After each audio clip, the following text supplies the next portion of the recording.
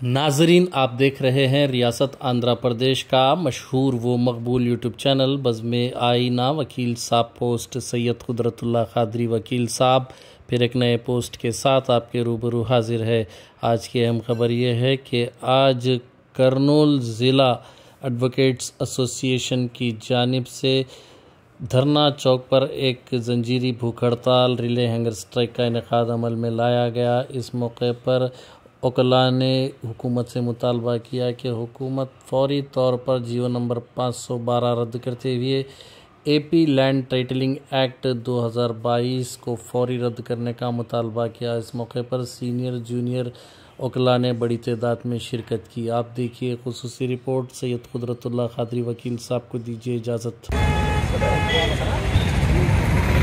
భూ హక్కుల చట్టానికి వ్యతిరేకంగా సంబంధించిన అంశం ఈ న్యాయవాదం అనే తప్పుడు సంకేతాలు ప్రభుత్వం ద్వారా జనాభా నిపుణంగా కొంచెం ఆలోచిస్తే పెత్తందారుల చేతికి సామాన్యుల యొక్క జీవన విధానము వాళ్ళ కబంధ హస్తాలకి పోవడానికి ఎంత మాత్రము అతి తక్కువ కాలంలోనే ఆ విధంగా జారుకునే అవకాశం మనకు ఈ చట్టం ద్వారా ప్రభుత్వ అధినేతలు కల్పిస్తున్నారు. దీన్ని అందరూ ముక్త కంఠంతో వ్యతిరేకించవలసిన ఆవశ్యకత. ఇది అందరికీ సంబంధించిన విషయము. మరి ముఖ్యంగా రైతుకు సంబంధించిన విషయము రైతే రాజుగా ఉండాల్సినటువంటి ఆవశ్యకత ఉంది. మనం ఎంతటి పెద్దవాళ్ళమైనా కానీ రూపాంతరం చెందింది. అందుకని అందరూ ముక్త కంఠంతో ఈ చట్టాన్ని వ్యతిరేకించవలసిన ఆ స్పీడీ జస్టిస్కు నాడిగా ఉంటుంది. ఆ వాళ్ళను ఈజీగా కన్విన్స్ చేయడానికి రెండే రెండు పద్ధతులు. ఒకటి అయితే రూలింగ్లో ఉంటాడో ఆ ఎమ్మెల్యే గాడు. లేదా ఎవడైతే ఎంఆర్ఓల కథ ఎప్పుడుందంటే సర్పంచ్ కాడ నుంచి ఎంపీటీసీ కాడ నుంచి ఎంపీపీ కాడ నుంచి జడ్పీటీ సరే వీళ్ళంతా పక్కన పెట్టి ఒక చేసాం అందుకే రాయలసీమ వ్యాప్తంగా కూడా జనాలు మనకు స్పందించినారు. అంతేకాకుండా అన్ని రాజకీయ పార్టీలు కూడా మనకు మద్దతు తెలిపినాయి. మరి ఇప్పుడు ఇక్కడ జరుగుతున్నటువంటి సంఘటన ఏంటి? పోనీ మద్దతు తెలిపినారు హైకోర్టు ఇంతవరకు కూడా తీసుకురాలేదు. నేను చాలాసార్లు చెప్పాను ఈ సమస్య పైన కూడా మనం మాట్లాడాలి. ఒక పక్క పార్లమెంటులో కేంద్ర ప్రభుత్వం స్వయంగా మరి ప్రకటన చేశారు లా మినిస్టర్. అయ్యా మీరు హైకోర్టును కర్నూలు తీసుకుపోతే మాకేం అభ్యంతరం లేదు. మీరు ప్రపోజల్ పంపండి మేము వెంటనే ఆమోదిస్తామని. మరి ఎందుకు చేయడం లేదు? ఇక్కడనే నేను తప్పు పడతా ఉన్నా. ఎందుకంటే మనం దాదాపు రెండు వేల పద్నాలుగు నుంచి రెండు వేల ఇరవై ఒకటి వరకు మనం ఈ ఉద్యమాన్ని భుజాలపై వేసుకొని చేశాం. రాయలసీమ ప్రాంతం అంతా ప్రజలకు మనం నమ్మాం. ఉన్నటువంటి పార్టీ అధికారంలో ఉన్నటువంటి ప్రభుత్వం మనకు హైకోర్టును తీసుకొని వస్తుందని. చాలా సార్లు నేను లెటర్ రాశాను.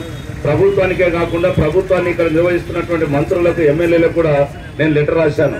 అక్కడ కేంద్ర ప్రభుత్వానికి అభ్యంతరం లేనప్పుడు మీరు మూడు శాసనాల అదేదో ఉంది త్రీ క్యాపిటల్స్ బిల్లుతో కానీ ఆ చట్టంతో కానీ సంబంధం లేకుండా హైకోర్టులో తరలింపుకు మీరు చర్యలు తీసుకోండి. హైకోర్టు ప్రధాన న్యాయమూర్తికి లెటర్ రాయండి. ఆ ప్రపోజల్స్ పెట్టండి. దాని వెనుక ఏమి దీనికి కావాల్సిన అవసరాలు ఏంటని కూడా నేను వాళ్ళ గ్రౌండ్స్ ప్రిపేర్ చేసి ఇచ్చాను. కానీ ఎవరు స్పందించలే. స్పందించకుండా ఏదో రాయలసీమ గర్జన అన్నారు. ఎవరిపైన గర్జిస్తారా నేను అడిగినాను. సార్ మీరే కదా జేఏసీ కన్వీనరు. కాబట్టి ఈ గర్జనలో మీరు ప్రధాన పాత్ర వహించాలని నన్ను మంత్రులు ఎమ్మెల్యేలు అడిగారు అంటే ఎవరి మీద గర్జించమంటావని అడిగినాను. ప్రభుత్వం నీరు పెట్టుకొని నువ్వు చేయాల్సిన బాధ్యతను నువ్వు ఎవరు అక్కడ అపోజిషన్ లీడర్కి ఎక్కడో జనాలు స్పందిస్తున్నారని మీరు గర్జన చేస్తే మన మీద మనం గర్జన చేసుకుంటే నవ్వుతారు. ఇటువంటి యొక్క ఉద్యమాలకు నేను రాను అని చెప్పాను. అప్పటి నుంచి నేను ఎందుకంటే క్లియర్గా చెప్పాను. దానివల్ల ఏమైనా పర్యావసనాలు కానీ ఇది తప్పు ప్రజలను మోసం చేస్తూ ఉన్నాం. మరి నిజంగా నీకు ఆ చిత్తశుద్ధి ఉంటే ఈ రోజు వరకు కూడా ప్రభుత్వం కొంతమంది అప్పుడు ఎనిమిది రమణ మీద పేరు చెప్పినారు. ఎనిమిది రమణ ఉన్నాడు కాబట్టి మనకు అడ్డం తగులుతాడు ఆయన రిటైర్ అయినాక ఆయన రిటైర్ అయిపోయి చాలా రోజులే. మరి రాష్ట్ర ప్రభుత్వం ఎటువంటి చర్యలు తీసుకున్నది? ముందే ఇప్పుడు నలిగిపోతున్నటువంటి రాయలసీమ ప్రాంత ప్రజానికం మోసపోయినామని బాధపడుతున్నటువంటి రాయలసీమ ప్రాంత ప్రజానీకానికి ఇది మళ్ళా ఒక వెన్నుకు ఒక పెద్ద శరాఘాతంలో మనకి చట్టాన్ని తీసుకుని వచ్చారు. దేశంలో ఎక్కడ చేయలే? ఏదో మేమే ముందర చేసినాం ఈ దేశంలో వారెవరు అక్కడ పైన? వారు దేశ మహారాష్ట్రలో వాళ్ళ సొంత గవర్నమెంట్ ఉన్న దాంట్లో మేము ఇంప్లిమెంట్ చేయమని చెప్పినారు వాళ్ళు. మరి అటువంటి ప్రపోజల్ నువ్వు తీసుకొని వచ్చి ఏదో ముందే తీసుకొని వస్తే దీన్ని చదివితే ఎంత భయంకరంగా ఉందంటే ఉన్నటువంటి నీకు ఆర్ఓఆర్ కానీ పట్టదారు పాస్బుక్లు కానీ అదేవిధంగా అడలంగలు కానీ ఇవన్నీ బ్రిటిష్ కాలం నుంచి standard procedures. They have been maintaining record holding registers ఎంత పక్కగా తయారైనటువంటివి. దీంట్లో ఏదైనా లొసుగులుంటే దాన్ని సరిదిద్దే ప్రయత్నం చేయాలి కానీ అసలు మొత్తం నువ్వేదో టైటిల్లో నీకు ఒక స్థిరీకరణ యాజమాన్యపు హక్కు స్థిరీకరణ చేస్తామన్నటువంటి ఒక మిషతోనే మొత్తం ఉన్నటువంటి మిగులు కాజేయాలని అదేవిధంగా రీసర్వే ఈరోజు కర్నూలు బార్ అసోసియేషన్ ఆధ్వర్యంలో రిలే నిరాహార దీక్షలను ప్రారంభించి ఈరోజు దీక్షలో కూర్చున్న ప్రతి న్యాయవాద మిత్రుడికి నా యొక్క నమస్కారాలు. ఇక్కడికి సంఘీభావం తెలియజేసి వాళ్ళకు సపోర్ట్గా వచ్చిన ప్రతి న్యాయవాదికి నా యొక్క ధన్యవాదాలు. మరి ముఖ్యంగా సీనియర్స్కు మా bar association president T Nagakrishna Naidu గారికి జనరల్ సెక్రటరీ మిత్రుడు ఎంవి చక్రపాణి గారికి అందరికీ నా యొక్క నమస్కారాలు. మిత్రులారా నేను గతంలోనే బార్ సర్వే సర్వసభ్య సమావేశంలో ఎన్నో సందర్భాల్లో చెప్పాను. ఈ చట్టం చాలా లోపభూయిష్టంగా ఉంది.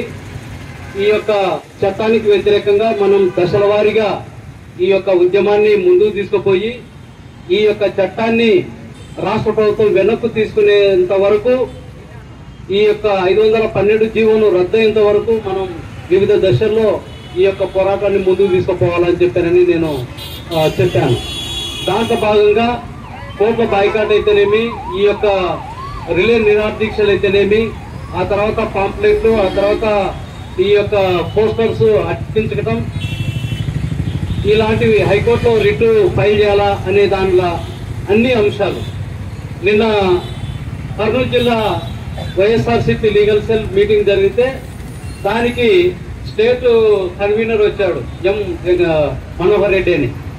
ఆయన కొంత లోపాలు ఉన్నాయి దాన్ని మేము ప్రభుత్వ దృష్టి తీసుకుపోయి దాన్ని సవరించే కార్యక్రమము ఆలోచన చేద్దాం. ఇంకా అది అమల్లోకి రాలేదు. దానికి సంబంధించి కొన్ని విధి విధానాలు వెలువడాల్సి ఉంటుంది. కాబట్టి మీరు తొందరపడి ఇచ్చేయద్దండి అయితే చెప్పారంటే నీకు మెయిన్గా సివిల్ కోర్టుల యొక్క అధికారాల్ని తీసేసి ఎవరో తహసీల్దారు ఆ తర్వాత ఆర్డీఓ జాయింట్ కలెక్టరు ఇటువంటి వాళ్ళ చేతికి ఈ యొక్క ల్యాండ్ టైటిలింగ్ అనే అధికారాన్ని ఆ విచారణను వాళ్ళకు అప్పగిస్తే ఇంకా ఈ స్వతంత్ర భారతదేశంలో స్వతంత్ర న్యాయ వ్యవస్థలో ఎలాంటి న్యాయం జరుగుతుంది సామాన్య ప్రజానికనికని. విషయం ఏంటంటే ఇప్పటికీ మన భారతదేశంలో ముఖ్యంగా ఆంధ్రప్రదేశ్లో నూటికి డెబ్బై శాతం మంది మాత్రమే చదువుకున్న వాళ్ళు ఉన్నారు ఇంకా ముప్పై శాతం మంది చదువులేని వాళ్ళు ఉన్నారు ఆ తర్వాత మన రాష్ట్రం కానీ మన దేశం కానీ అన్ని రంగాల్లో అడ్వాన్స్డ్ కంట్రీ కాదు రాష్ట్రం కాదు. మరి ఇంత లోపభూయిష్టమైనటువంటి యొక్క చట్టాల్ని తీసుకొని వచ్చి సామాన్య ప్రజలకు ఆ తర్వాత సామాన్య రైతులకు ఎందుకు మీరు అన్యాయం చేసే రీతిలో ఆలోచన చేస్తున్నారు అని నేను జగన్మోహన్ రెడ్డి గారిని నేను ప్రశ్నిస్తా ఉన్నా. ఎమ్మెల్యే అప్పించుకోడు ఇంత ముందు హైకోర్టు అంతే వేరే చేస్తున్నప్పుడు ఆ అంటే వస్తుండే వస్తుండే ఇక్కడికి. రామ్మ వస్తాను కూడా వస్తాను నేను వస్తాను నేను వస్తా అంటుండే. ఇప్పుడే మీ ఇట్లేమాయా కలిసి ఇప్పుడు చూడలే నువ్వు రాకపోతే మేమే మీ ఇంటికి వస్తాం. చెప్తున్నా చూడు Hafeez Khan MLA MP Sanjeev Kumar first target చేశారు మిమ్మల్ని. ఫస్ట్ టార్గెట్ చేశారు మిమ్మల్ని. మీరు ఖచ్చితంగా ఈ ఫైవ్ జీవో గురించి ముఖ్యమంత్రి గారికి మీరు ఖచ్చితంగా చెప్పి మీరు దీన్ని ఎంత త్వరగా వీలైతే త్వరగా మా ఉద్యోగం పెరుగుతున్నంత సేపు మీ ప్రభుత్వానికి నష్టం తప్పనిస్తే ఒక్క పర్సెంట్ లాభం ఉండదు చూడు. ఆ అనుభవం మీకు కావాలంటే చంద్రబాబు నాయుడుకి కావాలంటే ఒకసారి కావాలంటే ఫోన్ ద్వారా మీకు తెలుసుకో. ఎందుకంటే రెండు వేల పద్దెనిమిదిలో ఏ విధంగా జరిగింది అనేది. కాబట్టి మళ్ళీ రెండు సేమ్ అదే. ఎలక్షన్ల ముందు వచ్చినా మేము ఎంత తొందరగా నువ్వు టెంట్ మరి జీవో రద్దు చేసి టెంట్ చేసి అయిపోయింది. ఉల్టా పల్టా అయిపోతుంది. ఉల్టా పల్టా. కాబట్టి సరే ఒకవేళ ఈ మీరు కర్నూలు జిల్లా ప్రతాపాది గురించి ఫస్ట్ పట్టుకునేది కర్నూలు జిల్లా ప్రజాప్రతినిధులే ఎందుకంటే ఎన్నుకున్నాం కాబట్టి. ఇంకోటి హైకోర్టు కూడా ఇస్తా ఇస్తా ఇస్తా ఇస్తా అన్నాడు. థ్యాంక్ యూ సీఎం అన్నాడు. అయిపోయా.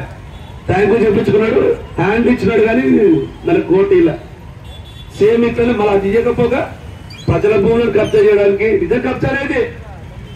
లేకపోతే ఏంది నీకు రెవెన్యూ పడుతుంది జుడిషియల్లో మీరు లేచేసే వాళ్ళు జుడిషియల్లో ఏం పని? పరిదాటి వివరిస్తున్నారు మీరు? మీకు ఏం పని మీరు? పాలించండి. ప్రజా సమస్యలు తీర్చండి. అంతేగాని న్యాయస్థానంలో జడ్జిలు చెప్పే తీర్పులు లాయర్లు చెప్పే చట్టాలు వాళ్ళకి వద్దని చెప్పేసి మేము మేమే చేసుకుంటామంటే? చూసి ఊరుకుంటామా లాయవాదులము ప్రజల పక్షాలు నిలబడతాం రైతుల పక్షాలు నిలబడతాం అన్ని సంఘాల పక్షాలు నిలబడతాం. ఖచ్చితంగా ఈ ఐదులో పన్నెండు జీవో ఖచ్చితంగా రద్దు అయ్యేంత వరకు మేము పోరాడతామని తెలుస్తున్నాం. అవసరమైతే ఎంత త్వరగా కార్యక్రమం ఉంటే మాత్రం రేపు భవిష్యత్తు కార్యక్రమంలో ఖచ్చితంగా బస్సులో నడుకుంటాం ప్రజలకు తెలియజేస్తాం. పల్లె పల్లెన తిరిగి ఆటోలలో మేము న్యాయవాదులకు వెళ్ళి పాంప్లెట్స్ మైక్ ద్వారా రచ్చబడ్డ దగ్గర ఎక్కడ ఉంటే ఈ యాక్ట్ గురించి వివరిస్తాం. ప్రజలకు మేల్కొలుపుతాం ఇంకా రాని రోజుల్లో హైవే దిగతం చేస్తాం. అవసరమైతే జగన్మోహన్ రెడ్డి ఇల్లింటి కూడా ముట్టడానికి కూడా మేము సిద్ధంగా ఉన్నాం. కాబట్టి మీరు అంతవరకు తెచ్చుకోవద్దు ఖచ్చితంగా మీరు ఏదైతే జీవో ఇందులో పన్నెండు act బూనెట్ act twenty seven twenty three రద్దు పరుస్తారో లేకుంటే ప్రజలు అనుకున్న అమెంట్ చేస్తారో మీ ఇష్టం. మీరు సమర్థిస్తున్నారు. కలెక్టర్ గారు దీనికి అందరికీ పెద్ద అయినప్పటికీ కూడా ఆయన కూడా ఇంతకుముందు భక్తులు చెప్పారు నాకు తెలియదు జీవ గురించి అని. నిజంగా ఆశ్చర్యకరమైన విషయమే తెలియదు అని చెప్పారు. కలెక్టర్కు తెలియకపోతే ఇంకెవరికి తెలియాలండి? అంటే ఇక్కడ ఎంఆర్ఓ వాళ్ళకు ఏం చెప్తే అది చేయడానికే కలెక్టర్లు ఈ విధంగా అటువంటి వాళ్ళని మాత్రమే కలెక్టర్లుగా నియమిస్తూ వచ్చినారు. కాబట్టి ఇది సార్ ఇంతకుముందు చెప్పినట్టుగా మాకు ఏదో జీవన వృద్ధిగా ఉంటుంది ఆ జీవన వృద్ధి తగ్గిస్తుంది జీవ అంటే తప్పదు. ఆ జీవన వృద్ధి అన్ని చట్టాలు కరెక్ట్గా ఉంటే దానికోసం పాటుపడితే మాకు ఎంతో ఎంతో ఫీజు వస్తుంది జీవన వృద్ధి జరుగుతుంది కానీ దొంగ చట్టాలను తర్వాత దొంగ చేసే వాళ్ళను వాళ్ళ కోసం పోటీపడి వాళ్ళ కోసం ఎక్కువ ఫీజులు తీసుకొని బ్రతకాలని ఎవరికి ఉండదు. అటువంటి వ్యవస్థలో మేము ఉండదలుచుకోలేదు. అటువంటి వ్యవస్థను మేము కూడా ఎదురిస్తాం. కాబట్టి ఈ జీవో ఐదు వందల పన్నెండును రద్దు చేస్తూ ఇటువంటి ఎనభై ఎకరాలు ఉన్న చోట నూట ఇరవై ఎకరాలు ఎట్లా ఇచ్చారు అని దాన్ని మీరు సర్వే చేయించి ఏ విధంగా అరికట్టాలి దాన్ని? అక్కడ రిజిస్టర్ ఉంటుందండి. ఆ రిజిస్టర్లో సర్వే నెంబర్లో సర్వే నెంబర్ ఎదురుగా ఇన్ని ఇన్ని ఎకరాల పొలం ఉంది సర్వే నెంబర్లో. ఇన్ని ఎకరాల పొలం రైతులకు పంచిపెట్టామని వస్తుంది. అది మరి ఎనభై ఉన్నప్పుడు ఎనభై కంటే ఎట్లా ఎక్కువ ఇస్తారు. అంటే వీళ్ళు ఏం చేస్తారంటే దాంట్లో ఎంటర్ చేయరా? దా- దాంట్లో ఎంటర్ చేయకుండా దానికి తగిన రుసుము అంటే వెనక వెనక వెనక ఆదాయం ఐదు వేలు రెండు వేలు మూడు వేలు తీసుకొని పట్టదారు పాస్బుక్ ఇస్తారు. సంతకం ఇస్తారు. సంతకం పెడతారు. సంతకం ఏదో గ్రేడింగ్ మీద నాలుగు తీస్తారు. దాంట్లో డేట్ ఉండదు. మళ్ళీ పది సంవత్సరాల తర్వాత వస్తే ఎప్పుడు ఇచ్చినారో తెలియదు. ఏ కలెక్టర్ ఇచ్చినాడు ఏ ఎంఆర్ఓ ఇచ్చినాడో తెలియదు. ఇలాంటి మోసాలు చేస్తూ ప్రజల దగ్గర ప్రజలు వాళ్ళ దగ్గర లిటిగేషన్స్ క్రియేట్ చేసుకోరు. వీళ్ళు ఎంఆర్ఓ ఈ రెవెన్యూ అధికారులు రెవెన్యూ సిబ్బంది మొత్తం మిటిగేషన్లో ఆరితేరిన వాడు ప్రమోషన్ చేసుకుంటుంటాడు వీళ్ళను ఇప్పుడు ఇది అరికట్టకుండా మీరు వాళ్ళకు ఇంకా దొంగకు దారం చేసినట్లు చేయించినట్లు అయిపోయింది రెండు ఐదు వందల పన్నెండు. కాబట్టి జగన్మోహన్ రెడ్డి గారు రెండు వేల ఇరవై నాలుగులో మీకు ఇంకా ఒక పది ఓట్లు ఎక్కువ రావాలంటే ఈ జీవో పోవాలి. ఇది ఒక్కటి తెలుసుకుంటే మీరు బాగుపడతారని సలహా ఇస్తూ ఇంతట్లో